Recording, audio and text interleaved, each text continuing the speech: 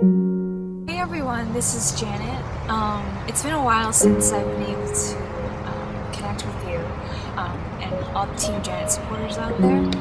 Thank you so much um, for all the drives that are being held right now. To be honest with you, the last time that I actually um, updated you was when, when I was in the hospital, and I had no idea that video would reach so many people um, and go on Reddit. I, had no intention or even any thoughts that it would get that far. Um, so thank you so much um, to everyone who has taken the initiative to spread the word. I'm really, um, really fortunate to have a support system like all of you out there. Since I last updated everyone, I've been in the hospital for about 39 days and we went through a very, very intensive round of chemotherapy that was actually reminiscent of my first round of chemotherapy um, induction. And this round is expected to actually put me into my second remission so that I'm ready for my transplant. But unfortunately, I found out um, after going through a temporary checkup with my doctors, um, the hospital, that we actually didn't kill very much of the leukemia. We got through about half of it, and there's still a lot of it left.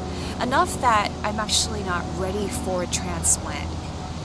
Um, and so that's been sort of the bad news that I've heard from my doctor that the chemotherapy um, didn't really work as they had expected, and that my relapsed leukemia is more resistant than we thought.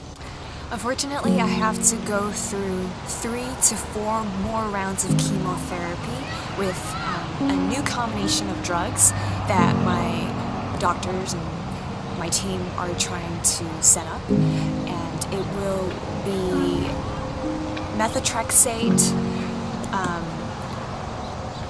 decadron, asparaginase, and vincristine. Uh, these medicines will be um, administered as an outpatient, so the good news is that I don't have to be in the hospital for them. The bad news, though, is that it is quite extended, and so I will have to receive more chemotherapy that will weaken my body again over time and endure more side effects.